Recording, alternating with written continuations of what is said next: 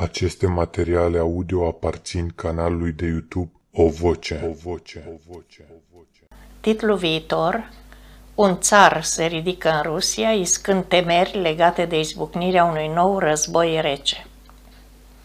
Câteva luni după publicarea opțiunii Ezechiel am fost invitat la Capitoliul Statelor Unite pentru a mă întâlni cu câțiva din cei mai puternici lideri politici ai țării.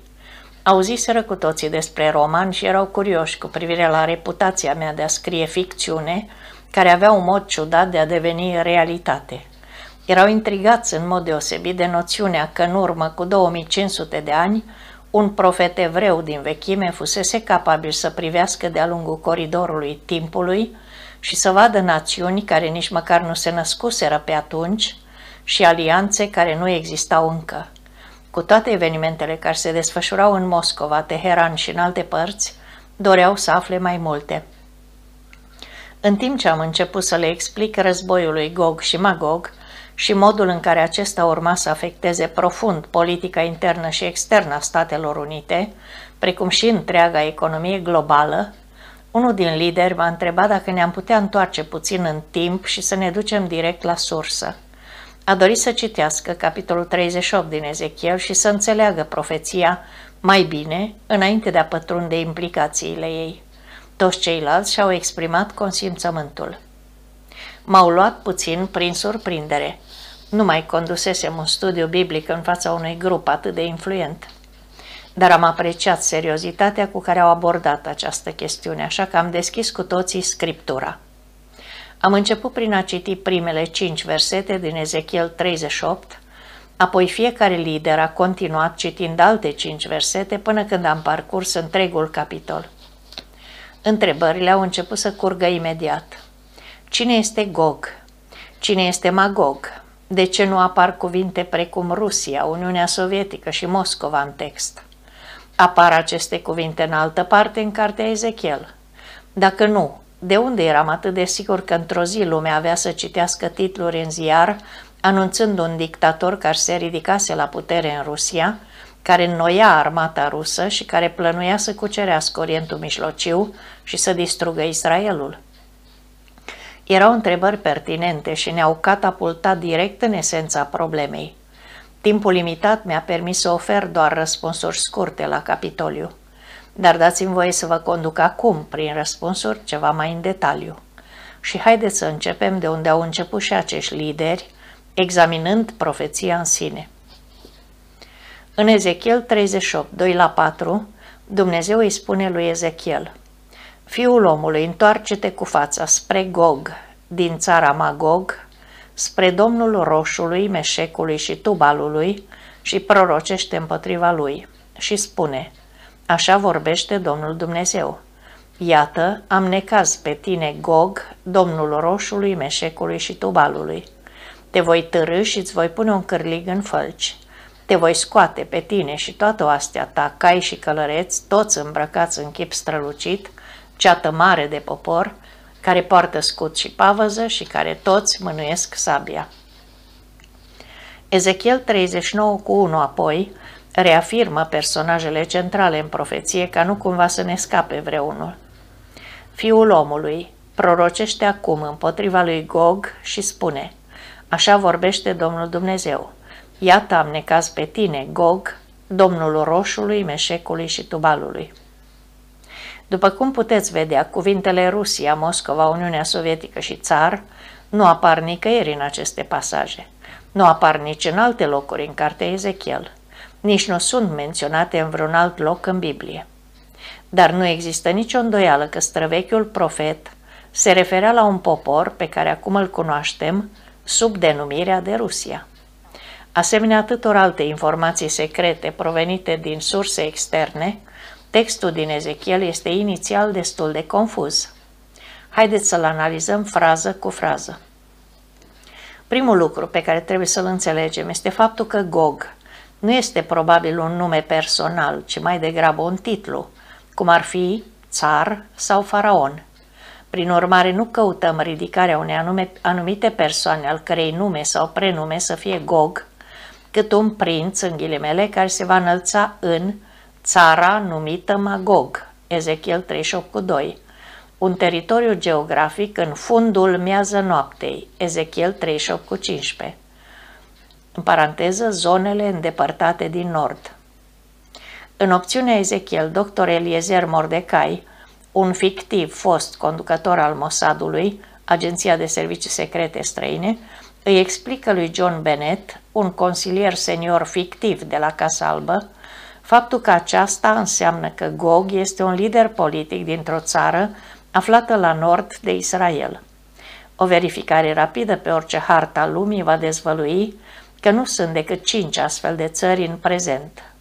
Libanul, Siria, Turcia, Ucraina și Rusia, iar cea mai îndepărtată spre nord este, desigur, Rusia. Ca niște buni analiști ai serviciilor secrete, haideți să nu ne oprim aici. Haideți să continuăm săpăturile, să vedem ce alte indicii putem descoperi, mai ales despre acest cuvânt magog. E curios faptul că unul dintre indicii ne-l sugerează chiar Voltaire, filozoful francez din secolul XVIII. Voltaire n-a fost nici pe departe un om religios. De fapt, s-a autodeclarat dușman al lui Isus Hristos. Voltaire i-a adresat la un moment dat o scrisoare lui Frederic cel Mare, regele Germaniei pe atunci, argumentând că creștinismul este fără îndoială cea mai ridicolă, cea mai absurdă și cea mai sângeroasă religie care a infectat vreodată lumea aceasta, încheia citatul. Cu toate acestea, dintr-un motiv anume, a fost interesat să rezolve enigma străveche a lui Gog și Magog, astfel că în cursul propriei cercetări a ajuns să fie convins, aproape cu 150 de ani înainte de ridicarea Rusiei ca mare putere mondială, că Magog era Rusia. Există un arbore genealogic al evenimentelor în lume, a scris în dicționarul filozofic, notând că este incontestabil faptul că locuitorii Galiei și Spaniei sunt descendenții lui Gomer, iar rușii ai lui Magog, fratele său mai tânăr. Încheia citatul. Este interesant totuși că arborele genealogic la care se referea își găsește originile chiar în Biblie, față de care avea atât de puțină considerație. Magog este primul menționat în Geneza 10. Magog a fost unul dintre fiii lui Iafet, care era unul din fiii lui Noe, scăpat pe arca lui Noe. Biblia ne prezintă întregul arbore genealogic al familiei lui Noe. Ne arată că descendenții lui Noe au migrat în Africa, Europa și Asia, stabilind diferitele civilizații de pe aceste continente. Încercând să descifreze profeția lui Gog și Magog, Voltaire a studiat arborele genealogic al lui Noe, apoi l-a comparat cu istoriile acestor continente diferite, în speranța de a determina locul unde s-au stabilit până la urmă fiecare dintre descendenții lui Noe. În această privință, istoricul roman Iosefus ne poate oferi un alt indiciu. În Antichități iudaice, lucrarea sa clasică în 20 de volume, scrisă în primul secol după Hristos, Iosefus scrie despre descendenții lui Noe. După ce au încercat să zidească turnul Babel, vezi Geneza 11, au fost risipiți care încotro pe baza limbii lor și s-au împrăștea pretutindeni întemeind colonii și fiecare colonie a luat în stăpânire ținutul din locul unde s-au așezat și unde i-a condus Dumnezeu.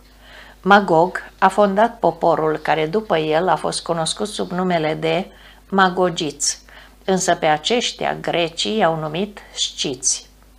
Sciții, după cum învățăm din cărțile noastre de istorie, au fost niște barbari neîntrecuți, călăreți de săvârșiți, ucigași setoși de sânge, care foloseau țeste de om pentru a bea sângele victimelor lor. Genetic erau arieni. Geografic au locuit în zonele cunoscute în prezent, drept Rusia, fostele republici sovietice și Asia Centrală. O lucrare de referință îi descrie pe sciți drept partea unui popor nomad de proveniență originar iraniană, care au migrat din Asia Centrală până în Rusia de Sud, în secolele 7 și 8 înainte de Hristos.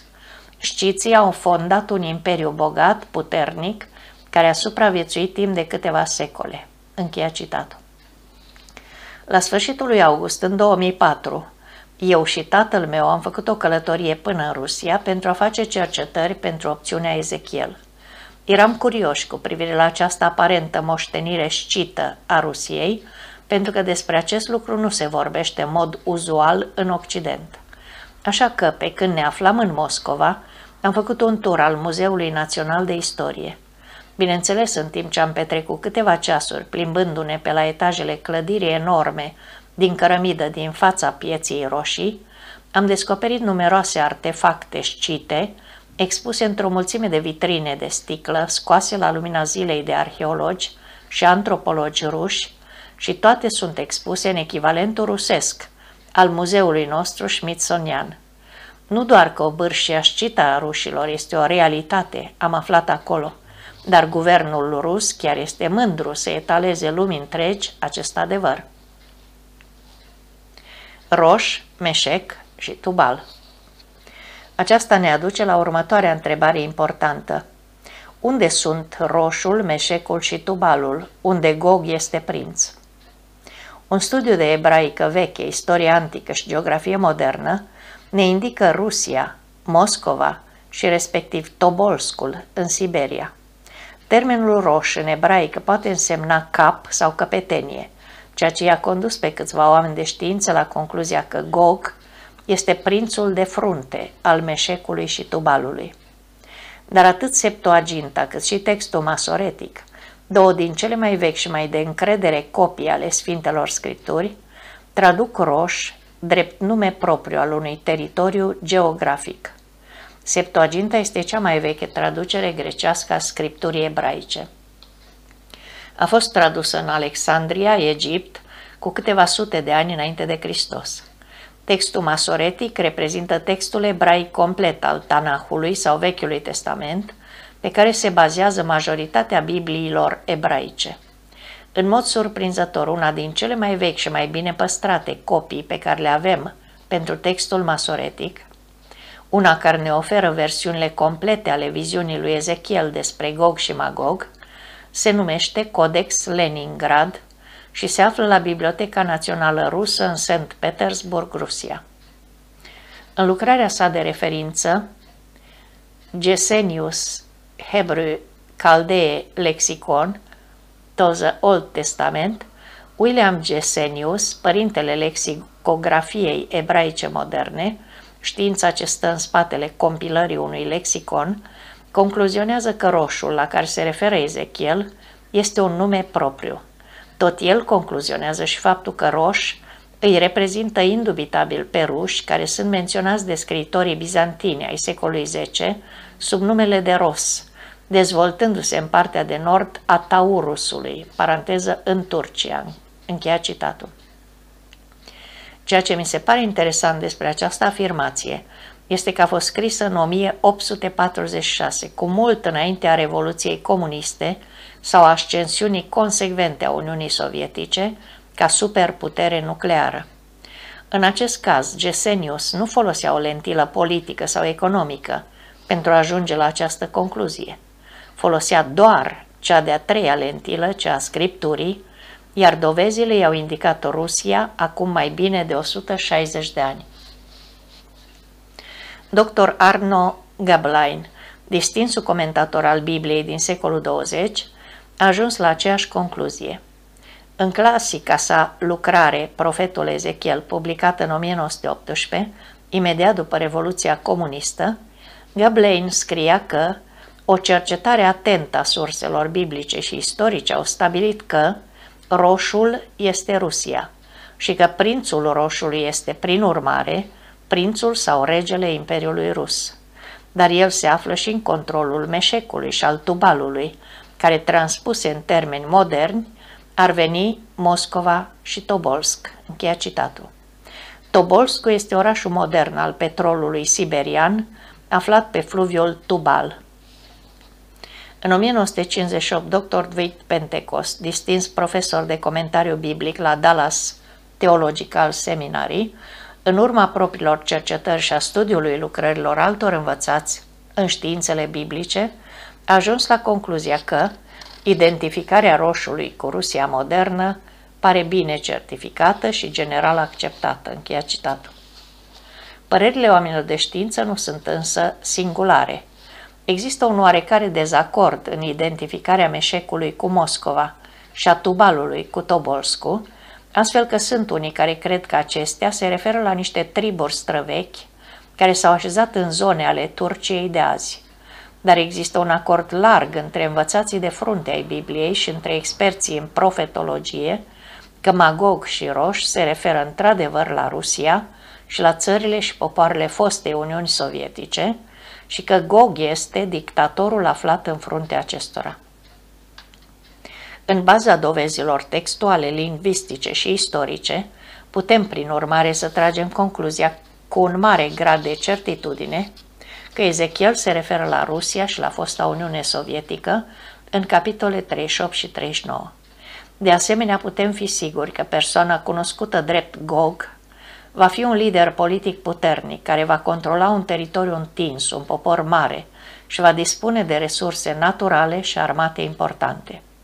Acest lider își va dedica timpul pentru a-și pregăti forțele militare și alianțele politice în vederea iminentului război cu Israelul.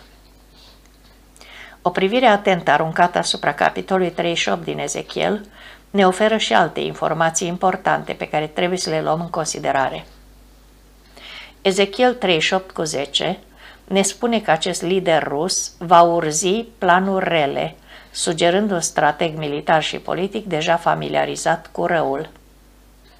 Ezechiel 38, 18-19 ne spune că Dumnezeu se va opune acestui lider rus cu mânie aprinsă și gelozie. Ezechiel 38 cu 4 și 38 cu 9 ne spune că acest lider rus va conduce o armată enormă și grozavă, paranteză, o ceată mare, o oaste care odată aliată cu oștile islamice va veni ca o furtună împotriva Israelului și va acoperi țara ca un nor negru cu toate trupele Rusiei și multe popoare cu tine. Ezechiel 38 cu 7 ne spune că în timpul ce va duce până la acest război, liderul acesta rus va gândi. Pregătește-te, deci, fi gata, tu și toată mulțimea adunată în jurul tău, fii căpetenia lor. Însă nu e suficient să știi la ce să privești. Trebuie să fim atenți acum la cuvintele lui Isus din Luca 12 cu 56 și să deosebim vremea de acum. Misterul care planează asupra Rusiei Adevărul este că schimbări extraordinare sunt în curs în Rusia și în fosta Uniune Sovietică, schimbări care sugerează cu putere că împlinirea profeției lui Ezechiel este tot mai aproape. Dați-mi voie să vă descriu câteva dintre schimbările importante pe care le-am observat din propria analiză în ultimele două decenii. Prima mea călătorie în Rusia a fost în vara lui 1986, când mai exista încă Uniunea Sovietică. Mihail Gorbaciov venise de curând la putere. Trei prieteni din facultate și cu mine am aplicat pentru vize la ambasada sovietică de la Washington, explicându-le că doream să aflăm mai multe despre această ghicitoare învelită în misterul din interiorul unei enigme, după cum numise Winston Churchill cândva Rusia. Și era adevărat. Ne doream în realitate să vedem Kremlinul și locuitorii săi prin cele trei lentile, ale politicului, economicului și scripturii. Dar aveam și altă agendă. Urma să participăm la un proiect de misiuni clandestine numit Steaua Nordului, condus de Campus Crusade for Christ, pentru a introduce Biblii în Uniunea Sovietică și a ne mărturisi credința în Hristos studenților cu, cu care urma să ne întâlnim. 20 de ani mai târziu încă mi-amintesc cu putere exact sentimentul de anxietate și încântare pe care l-am simțit când am luat trenul din Viena, Austria, prin Cehoslovacia și am ajuns la granița Savietski Sayuz, Uniunea Republicilor Socialiste Sovietice. Ca și când aș fi jucat într-un film, brusc m-am trezit privind la niște ziduri păzite, la sârmă ghimpată, câini ciobănești, soldați ce păreau fioroși, mulți la fel de tineri ca și mine, și pe atunci nu aveam decât 19 ani, înarmați cu mitraliere și care juraseră să protejeze societatea lor atee de orice religie, luate aspru în derâdere, considerate drept opiu pentru popor. În timp ce ofițerii grăniceri îmi verificau pașaportul și bagajele, m-am rugat propria în versiune a rugăciunii contrabandistului, devenită faimoasă prin fratele Andrei, care a ajutat ca milioane de Biblii să ajungă la oamenii captivi în spatele cortinei de fier, în timpul celor mai geroase zile ale războiului rece. Doamne Iisuse, cât timp ai fost pe pământ, ai făcut ochii orbilor să vadă. Te rog acum să orbește ochii aceștia văzători ca să pot duce cuvântul tău unor oameni care n-au auzit niciodată vestea cea bună a mântuirii tale. În ziua aceea, ca și în atât de multe altele după aceea, Dumnezeu a dovedit încă o dată că este un Dumnezeu care ascultă și răspunde la rugăciuni. În mod remarcabil am reușit să intrăm în țară fără niciun incident și în următoarele patru săptămâni ne-am mărturisit credința și am dăruit toate Bibliile în Moscova, în Lvov, un oraș în Ucraina nu departe de Cernobâl, care numai ce fusese pârjolit, și în trei orașe predominant islamice din Asia Centrală, Tashkent, capitala Uzbekistanului, Almata, acum numită Almatia, capitala Kazahstanului, și Frunze, acum numit Bishkek, capitala Cârcăstanului. Ceea ce am văzut ne-a uluit. Ocazional am avut privilegiul de a întâlni credincioși în secret, în biserici subterane mici, dar atât de pline de viață și am strâns amintiri pe care le prețuiesc enorm de atunci încoace, pentru că aceștia erau în ochii mei adevărații eroi ai credinței creștine. Dar în același timp am văzut cu ochii noștri biserici care au fost transformate în muzee ale ateismului. Am fost martorii sărăciei lucii materiale și spirituale din această țară. Mai mult am observat ezitarea de pe fața majorității oamenilor de a petrece timp cu niște americani, de teamă că ar putea fi apoi hărțuiți sau închiși de poliția secretă. Și dacă asta nu era destul, am simțit pentru puțin timp gustul amar al represiunii religioase, pe care pe atunci majoritatea rușilor o cunoșteau de o viață întreagă. De două ori, eu și prietenii mei am fost reținuți de KGB și am fost interogați pendelete cu privire la cine suntem, de ce ne aflăm acolo și de ce încălcăm legile sovietice, astfel expunându-ne riscului de a fi închiși sau deportați. De fiecare dată, prin harul lui Dumnezeu, am fost eliberați fără nicio acuzație. Ambele experiențe încă se regăsesc printre cele mai îngrozitoare și terifiante experiențe de care am avut parte vreodată. Cu toate acestea, în același timp, experiențele acestea m-au ajutat să înțeleg, la o scară foarte mică și într-un mod foarte personal, lucrul la care se referea președintele Reagan când descria Uniunea Sovietică drept ținta răului în lumea modernă, ale cărei ultime capitole erau scrise chiar atunci și lucru despre care vorbea Iisus Hristos când a promis că eu voi zidi biserica mea și porțile locuinței morților sau ale iadului nu vor birui. Matei 16 18. Un astfel de sistem al răului nu putea supraviețui mult, am început să-mi dau seama. Cum ar fi și putut? Guvernul sovietic se îndrepta în sens opus adevărurilor fundamentale legate de natura și comportamentul uman, pe care lumea liberă le găsea evidente.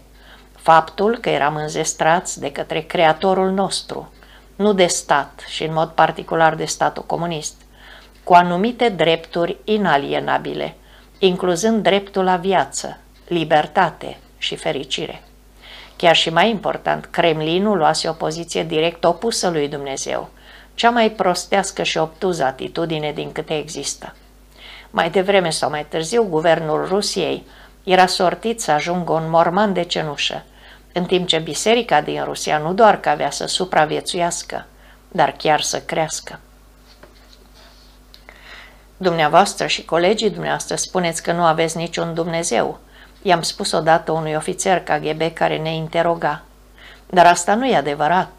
Voi vă înclinați în fața altarului marxism-leninismului. Voi îl considerați pe Vladimir Lenin drept salvatorul societății sovietice. Noi ne ducem la Moscova să-l vedem pe acest Lenin, căruia vă închinați, dar care se află încă în sicriul lui.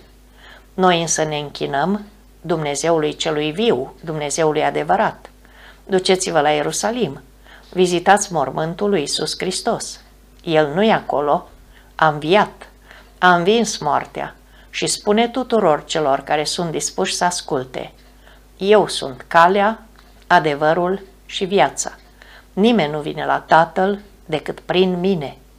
Într-o bună zi, sperăm noi, voi și toți cei din țara voastră veți ști și veți experimenta dragostea lui Hristos și planul lui pentru viața voastră.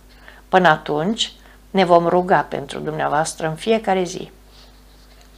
Și vorbeam cât se poate de serios, pentru că eram într-o țară a cărei religie de stat era lipsa religiei, o țară responsabilă de moartea a zeci de milioane de oameni în secolul 20, o țară care a subjugat cea mai mare parte a continentului la o tiranie atee, o țară din care bunicii și străbunicii mei, evrei ortodoxi, au avut norocul să scape, dar în urma lor au rămas milioane de alți evrei și creștini care au continuat să sufere una din cele mai aspre persecuții religioase din istoria omenirii. Cu toate acestea, pe cât de ispititor era să îi blestemăm pe sovietici pentru tot răul pe care îl săvârșiseră, ca urmași ai lui Hristos n-am putut. Pentru că în Matei 5, cu 43-44, Iisus a spus limpede. Ați auzit ce s-a spus? Să-L iubești pe aproapele tău și să-L urăști pe vrășmașul tău. Dar eu vă spun, iubiți pe vrășmașii voștri și rugați-vă pentru cei care vă prigonesc. Ne-am străduit să ascultăm acele cuvinte cât am putut de bine, rugându-ne pentru ca acel sistem totalitar să se prăbușească și Evanghelia să poată pătrunde în această țară. Ceea ce nu ne-am dat noi seama a fost cât de repede aveau rugăciunile noastre să fie ascultate. Pe când m-am întors în cele din urmă la Moscova, la sfârșitul verii din anul 2004, totul se schimbase. Imperiul răului se prăbușise. Uniunea Sovietică nu mai exista. O epocă cu totul nouă era în curs. Dar cumva, enigma din jurul Rusiei a rămas.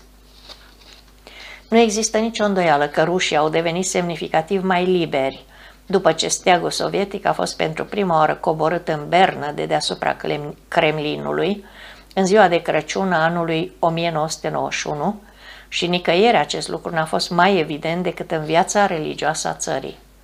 Dacă la un moment dat fusese ilegal pentru mine să mărturisesc credința în Hristos, în 2004 am avut posibilitatea de a vorbi în public în una din bisericile evanghelice cu cea mai mare creștere din Rusia.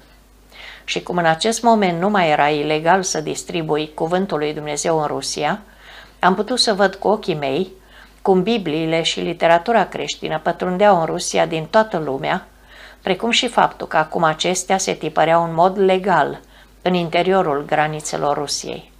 Astfel că, între 1992 și 2002, Just McDowell, el însuși un ateu devenit evanghelist, și echipa lui au distribuit aproape 20 de milioane de Biblii și cărți creștine în interiorul fostei Uniuni Sovietice prin misiunea Campus Crusade for Christ.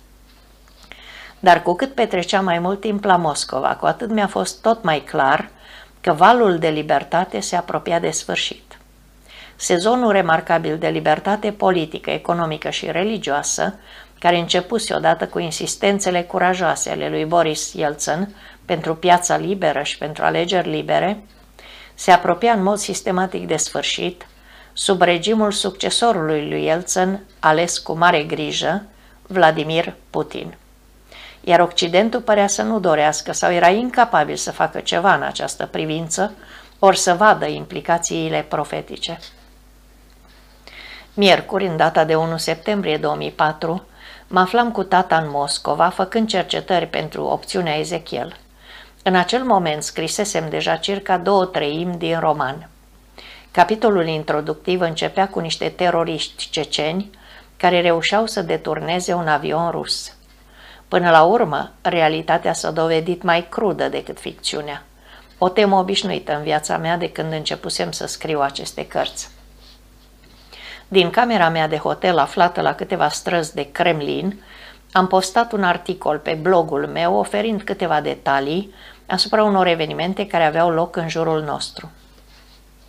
Cu trei zile înainte să plecăm din Washington spre Moscova, teroriștii ceceni au deturnat două avioane rusești, reușind să omoare 90 de cetățeni nevinovați. Noaptea trecută, la exact o săptămână de la atacurile cu avioane, o femeie din Cecenia, o sinucigașă cu bombă, s-a aruncat în aer într-o stație de metrou, aflată doar, la doar câteva străzi de hotelul nostru, reușind să ucidă 10 persoane și rănind alte 50. Astăzi, teroriștii ceceni au ocupat o școală în sudul Rusiei și în momentul în care scriu acest articol, țin ostatici 400 de ruși, inclusiv sute de elevi. Măsurile de securitate s-au năsprit substanțial aici, în capitala țării, precum și în tot restul țării. Încheiat citatul. Nimeni nu știa în acel moment cât avea să dureze valul de teroare. Întrebarea din mintea tuturor era dacă președintele rus era pregătit pentru slujba de a-și apăra țara. Citez din nou din articol. Putin a câștigat realegerile cu un procent sovietic de 71% din totalul voturilor și a aruncat oponenții politici în închisoare. I-a alungat în exil sau a reușit să-i reducă la tăcere prin șantaj. În esență, a desfințat orice rapoarte negative despre sine de la televiziunea națională. Ultimul articol din Moscow Times de azi dimineață. Un ziar mic cu un tiraj de numai 10.000 de exemplare este amenințat că va fi închis de către Kremlin pentru că publică articole cu tentă critică la adresa lui Putin. Imaginea pe care Putin a încercat să o prezinte este una a stabilității. Alegeți-mă pe mine și voi fi aspru. Aspru cu teroriștii, aspru cu oligarhii miliardari, aspru cu mafia rusă. Da, vă voi deposeda de libertăți și vă voi ignora reformatorii democratici.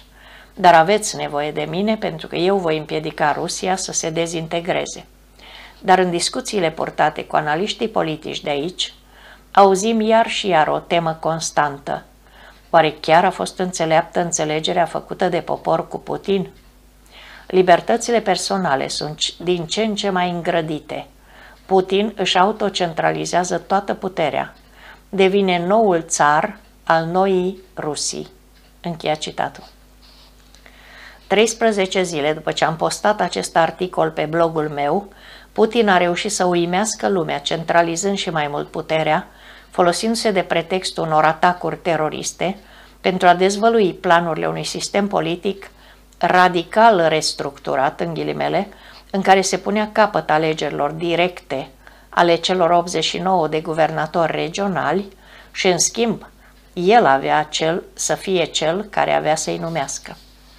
În condițiile de față, sistemul puterii executive în țară trebuie nu doar adaptat pentru operarea în situații de criză, dar trebuie și restructurat radical pentru a întări unitatea țării și a preveni crize viitoare, a declarat Putin la o întâlnire televizată și transmisă național în Kremlin. Cei care instigă, organizează și pun în aplicare acte de terorism, urmăresc dezintegrarea țării, distrugerea statului și ruinarea Rusiei. Încheia citatul.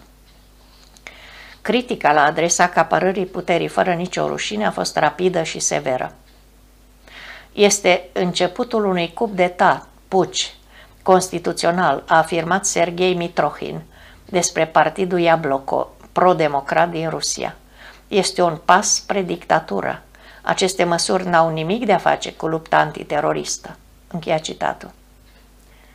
Victor Pokmelnik Kin, un alt membru pro-democrat din Duma statului, Parlamentul Minor din Rusia, a numit planul lui Putin o dovadă a restaurării managementului imperial și a atras atenția. Astăzi s-a comis o greșeală foarte gravă. Greșeala aceasta este o amenințare la adresa viitorului statului rus. Încheia citatul. Vladimir Tihonov, guvernatorul regiunii ruse Ivanovo, a descris planul lui Putin drept nedemocratic și neconstituțional. Fostul lider sovietic, Mihail Gorbaciov, a numit planul drept un pas înapoi de la democrație și a avertizat că, sub motoul războiului declarat terorismului, Putin limitează drastic libertățile democratice și cetățenii sunt deposedați de oportunitatea de a-și exprima direct atitudinea față de această guvernare. Încheia citatul. Chiar și fostul președinte Boris Yeltsin, omul care l-a promovat pe Putin, a avertizat. Nu ar trebui să ne permitem să ne îndepărtăm de litera sau de spiritul unei Constituții pe care țara a adoptat-o într-un referendum național. Sugrumarea libertăților, desfințarea drepturilor democratice, asta nu poate însemna decât că terorismul a avut câștig de cauză. Încheia citatul. Desigur, aceste critici n-au avut niciun efect. Planul lui Putin a trecut cu succes de Parlament, în cadrul căruia două treimi din membrii erau deja controlați de Kremlin. Iar Putin era abia la început. În octombrie, Washington Post raporta că Republica ex-sovietică a Belarusului a organizat un referendum pentru numirea puternicului Alexander Lukashenko, care deja fusese de acord să-și reunească țara cu Rusia ca președinte pe viață. Un exit poll condus de Galup, organizația, a demonstrat că propunerea a fost respinsă. Dar când autoritățile Belaruse au anunțat că hotărârea fusese luată cu 77% din voturi, Rusia a numit votul corect și liber. Între timp, în fosta Republică Sovietică Ucraina, Putin îl susținea agresiv pe Victor Ianucovici, un prieten apropiat al Kremlinului, pentru a fi următorul președinte al țării și prim-ministru împotriva candidatului pro-democrat Victor Iușcenco. Putin l-a lăudat în mod repetat pe Ianucovici, ba chiar a călătorit până în Ucraina de două ori pentru a face campanie electorală în favoarea acestuia.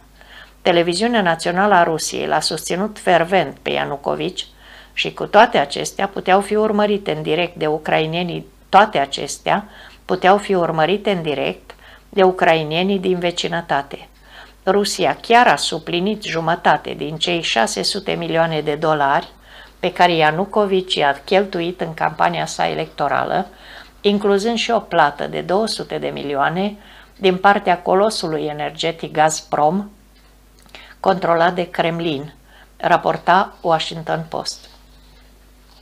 În schimb, continua articolul din Post, la ultima lor întâlnire, Ianucovici a promis lui Putin că avea să pună capăt politicii Ucrainei de a deveni membră NATO, avea să promoveze o politică a frontierelor deschise și a cetățeniei duble pentru ruși și ucrainieni, că avea să facă din rusă a doua limbă oficială a țării și va înainta cererea de membralitate a Ucrainei la World Trade Organizația sub pretextul formării unui singur spațiu economic inițiativa lui Putin de a crea o nouă uniune cu Ucraina, Belarus și Kazahstan.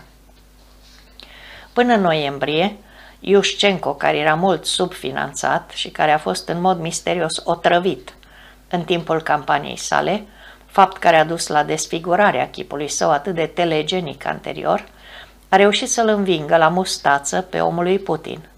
Dar Putin a solicitat organizarea unui tur de scrutin eliminator ca apoi să-l numească pe Ianucovici câștigător și a cerut ca Occidentul să nu se amestece. Dar opoziția a reacționat, iscând ceea ce a devenit cunoscut drept Revoluția Portocalie, când sute de mii de ucraineni au luat cu asalt străzile pentru a cere alegeri libere și corecte. În cele din urmă, alegerile au avut loc corect, iar Iușcenco a fost câștigător în cele din urmă. Însă planurile lui Putin de a reface Imperiul Rus bucată cu bucată a fost dat în vileag. Până la sfârșitul anului, întrebarea încotro se îndreaptă Rusia devenea tot mai clară și mai tulburătoare. Vineri, 3 decembrie 2004, în timp ce aduceam ultimele retușuri romanului Opțiunea Ezechiel, am postat următorul articol pe webblogul meu. În septembrie am fost 10 zile în Rusia pentru a face muncă de cercetare pentru următorul meu roman. M-am întâlnit cu un membru senior al Dumei de Stat, cu oficial senior de la Ambasada Statelor Unite, cu analiști politici ruși de frunte și cu șeful biroului de la Moscova al New York Times și un reporter economic de la Times. Tuturor acestora le-am descris un scenariu posibil – o lovitură de stat din partea unei grupări fasciste ultranaționaliste în Moscova conduce la asasinarea liderului democratic ales în Rusia și aduce la putere un dictator care dispune de arme nucleare, incitat de putere să pornească o nouă și periculoasă confruntare cu Occidentul. Unul câte unul, fiecare din ei mi-a spus că nu e nevoie de o lovitură de stat. Dictatorul se află deja la putere. Și așa și este. În ultimele circa 18 luni, Vladimir Putin a dat constant înapoi ceasul democrației din Rusia, centralizând puterea înapoi în Kremlin și metamorfozându-se încet într-un țar atotputernic. A naționalizat rețelele de televiziune din Rusia, a aruncat în închisoare oponenți politici pe baza unor acuzații dubioase, a amenințat mereu să naționalizeze una din cele mai mari companii petroliere ale Rusiei a anunțat că guvernatorii ruși nu vor mai fi aleși de către popor, ci vor fi numiți de Kremlin și a sprijinit constant un candidat prezidențial în Ucraina, chiar și după ce observatorii internaționali au protestat că acest candidat încerca să fraudeze alegerile. Între timp, Putin furnizează centrale de producere a energiei nucleare, combustibil și tehnologie nucleară Iranului – celui mai periculos stat susținător al terorismului de pe planetă. Tot el a anunțat o creștere cu 40% a bugetului militar rus și de curând dezvoltarea unei noi clase de proiectile nucleare strategice în Rusia. Nu doar că efectuăm cercetări și testăm cu succes cele mai noi sisteme de proiectile nucleare, le-a spus Putin, comandanților din Ministerul Apărării, potrivit New York Times 17 noiembrie 2004. Sunt convins că în anii următori vom fi înarmați cu aceste sisteme. Sunt sisteme și dispozitive pe care celelalte state înarmate nuclear nu le au și nici nu le vor avea în anii imediat următori. Încheia citatul lui Putin. The Times a adăugat că despre forța militară a Rusiei se raportează că a încercat să-și perfecționeze proiectilele balistice pe uscat și pe mare, cu focoase care ar putea eluda un sistem de apărare antiproiectile, precum cel construit de administrația Bush. Ceea ce ne aduce în prezent. În timpul unei cuvântări din India, Putin a atacat Washingtonul, acuzând administrația Bush că urmărește să instaureze o dictatură a afacerilor internaționale. Chiar dacă împachetăm dictatura într-o exprimare frumoasă, pseudodemocratică, nu va fi de ajuns pentru a rezolva problemele de sistem, a afirmat Putin în New Delhi dictatură? Este clar că situația din Rusia nu e nici pe departe așa de rea în prezent, cum a fost în timpul războiului rece. Iar Putin a făcut unele lucruri bune. Spre exemplu, a sprijinit eforturile Statelor Unite în război împotriva terorismului. A permis avioanelor Statelor Unite și NATO să survoleze spațiul aerian de pe teritoriul rus, sprijinind astfel eforturile de război în Afganistan – S-a opus, dar n-a încercat direct să împiedice războiul declarat de Statele Unite Irakului. Și planul său de reducere a taxelor la 13%, pe lângă alte reforme economice pozitive economiei de piață, au ajutat de fapt economia rusă să crească semnificativ în ultimii ani și să atragă fonduri de investiții și companii străine din Statele Unite și Occident. Acestea fiind spuse, tendința este pe ansamblu tulburătoare – Rusia se îndreaptă în direcția greșită. Putin este un dictator în devenire. Încheia citatul de pe blog. Și se pare că nu eram singurul de această părere.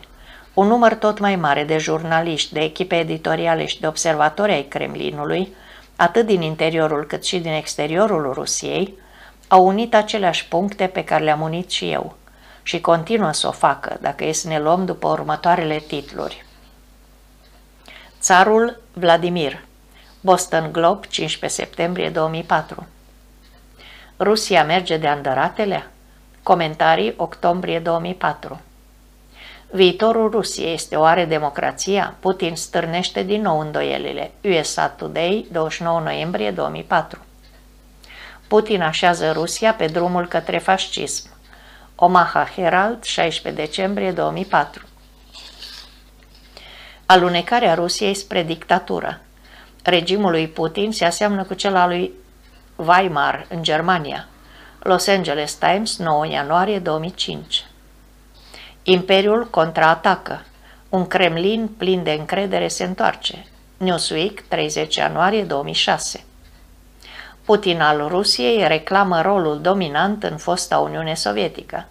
Associated Press, 20 martie 2006 Putin în propriile ei cuvinte Vladimir Putin a fost instruit de KGB și cândva a fost spionul de vârf al Rusiei, însă în mod surprinzător n-a ascuns deloc obiectivele sale pe termen lung sau strategia la care va recurge pentru a le atinge.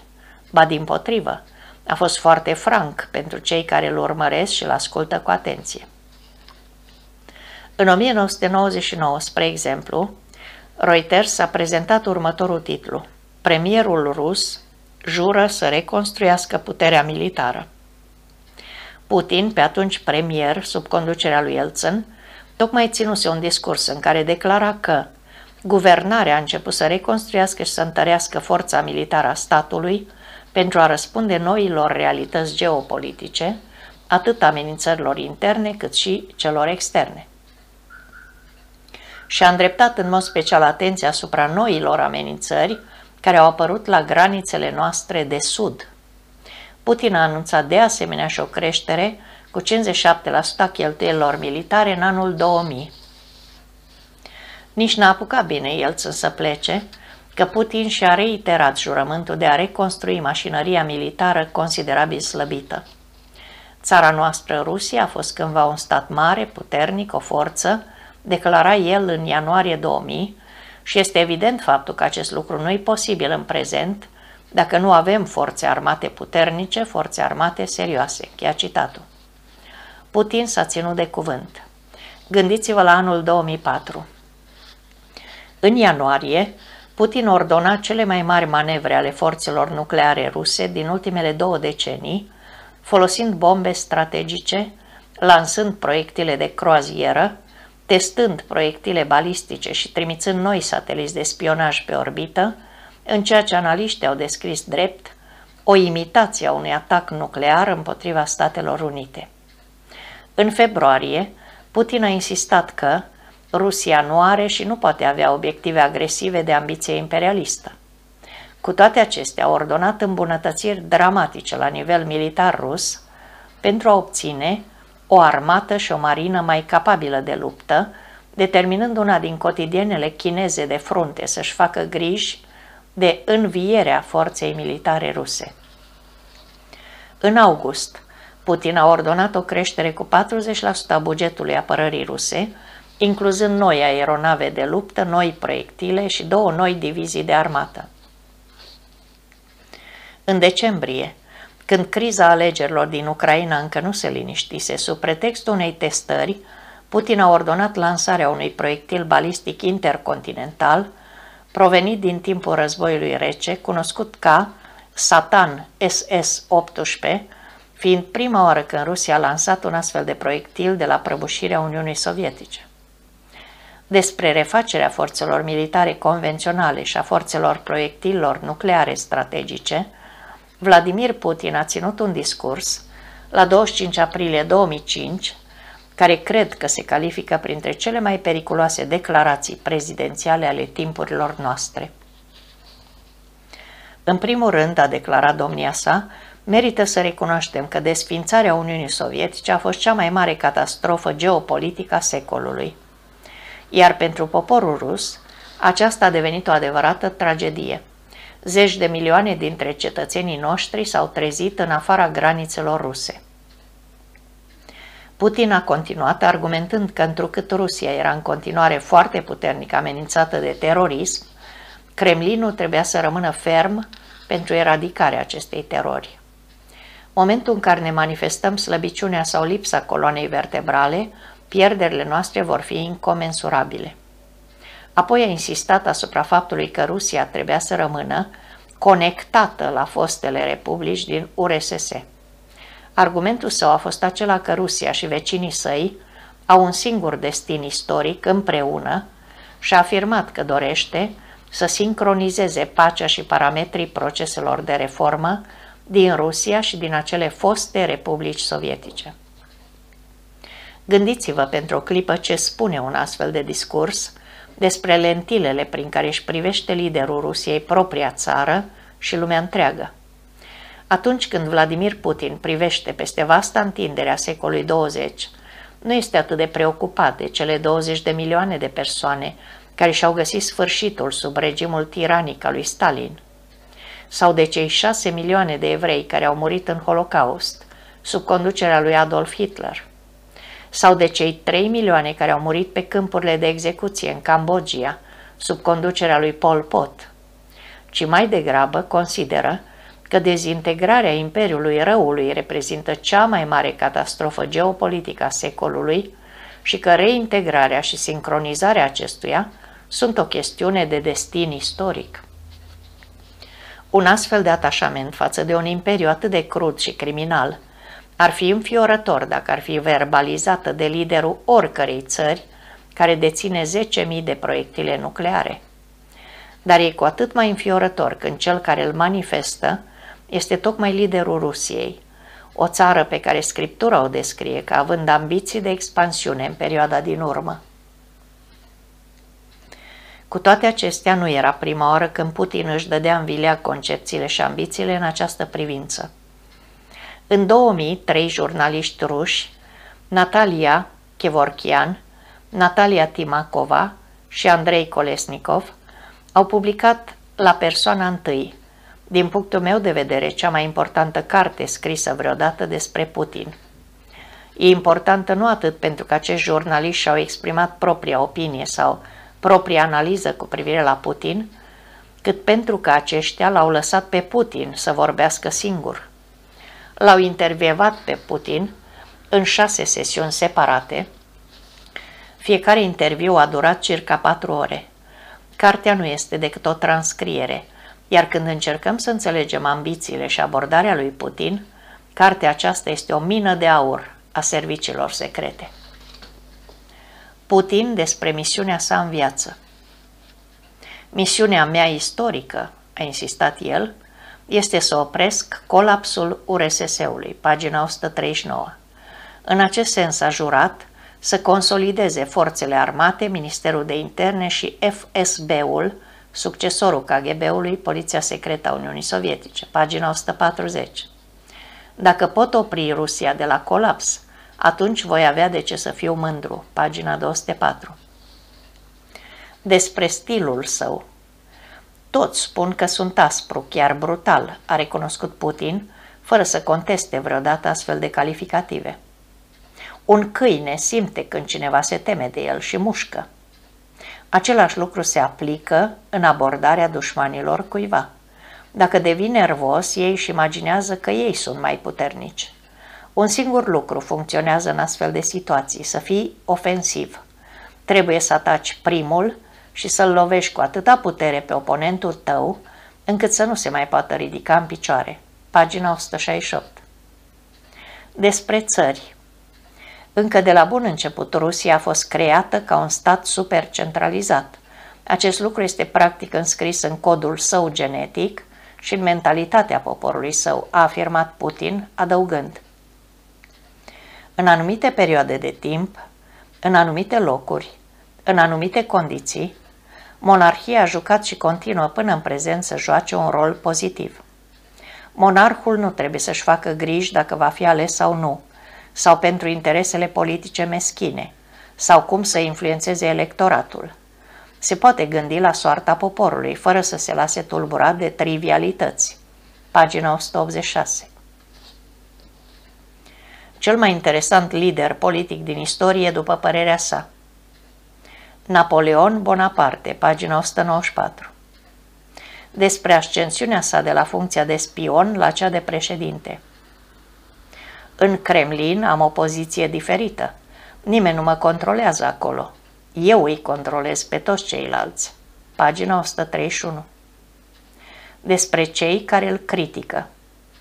Să infunde iadul. Pagina 140 Putin a promis în repetate rânduri că nu va încerca să-și prelungească mandatul odată ce se va încheia cel de-al doilea mandat al său în 2008 și fiecare persoană pe care am intervievat-o în Rusia în 2004, inclusiv fiecare personalitate politică și diplomat cu care am vorbit de la Ambasada Statelor Unite la Moscova, mi-au spus că au crezut că avea să plece în pace, atunci când avea să fie momentul.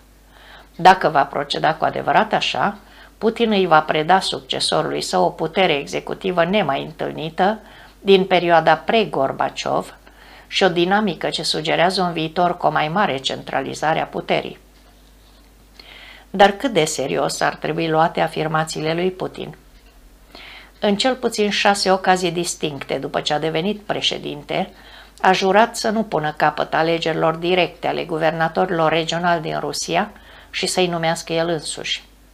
Cu toate acestea, în 2004, atunci când acest lucru i-a fost prielnic, exact asta a făcut. De ce ar trebui să fie altfel cu promisiunea lui de a părăsi biroul prezidențial în 2008?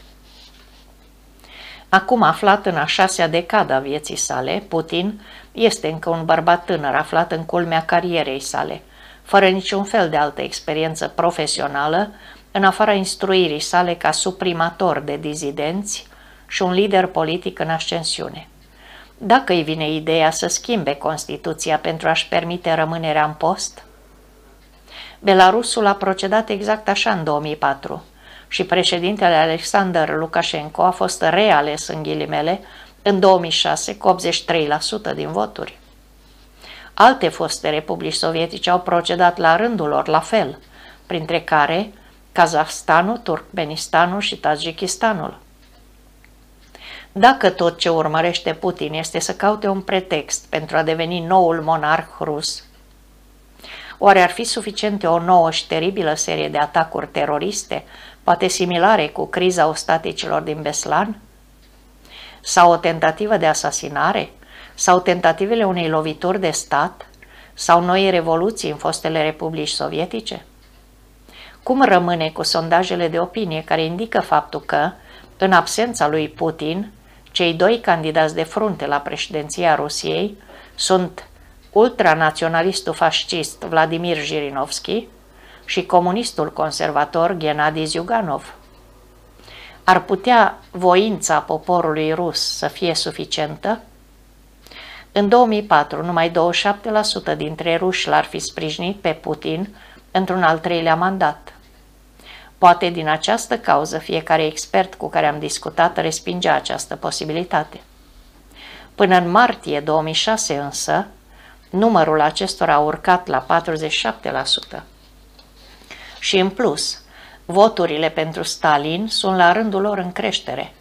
Întrebați dacă ar vota un dictator sovietic în cazul în care acesta ar fi în viață și ar candida în cursa electorală pentru președinție, în mod uimitor – un rus din patru ar spune în prezent că i-ar da votul. Și asta deoarece două treimi din poporul rus consideră că în prezent în țara lor este mai puțină ordine decât era în trecut. Ca atare își doresc o mână de fier care să cărmuiască, iar Putin se pare că le oferă exact asta. Întrebarea cea mare – cu cât aflăm mai multe despre liderul rus, cu atât putem înțelege mai bine de ce, aproape peste tot unde vorbesc în prezent, oamenii mă întreabă, este Vladimir Putin Gog? Este el liderul rus despre care prezicea Ezechiel că va ataca Israelul? Este o întrebare interesantă, dacă e să ținem cont de tendințele recente. Putin este, fără îndoială, perceput ca un țar în ascensiune iar el vorbește fără rezerve despre monarhia istorică a Rusiei. Centralizează puterea politică și controlul în propriile sale mâini. Reconstruiește forța militară a Rusiei în scop ofensiv. Vorbește despre colapsul Imperiului Malefic Sovietic ca despre o catastrofă și vorbește despre restaurarea gloriei istorice a mamei Rusii. El operează într-un climat social și politic care pretinde tot mai mult un lider de talia lui Iosif Stalin. Mai mult, el stabilește tot mai multe legături politice, economice și militare cu fiecare dintre țările pe care Ezechiel le-a descris în viziunea sa despre viitor, după cum voi arăta în detaliu în următoarele două capitole. Toate acestea fiind spuse însă, nu putem trage nici concluzia categorică a faptului că Putin ar fi cel despre care a vorbit Ezechiel, dar nu-l putem nici exclude, cel puțin nu încă. trebuie să se mai întâmple câteva lucruri în Rusia și în Orientul Mijlociu, înainte să putem ști cu siguranță cum stau lucrurile. E posibil ca Putin să nu fie decât cel care pregătește scena pentru ascensiunea altei persoane.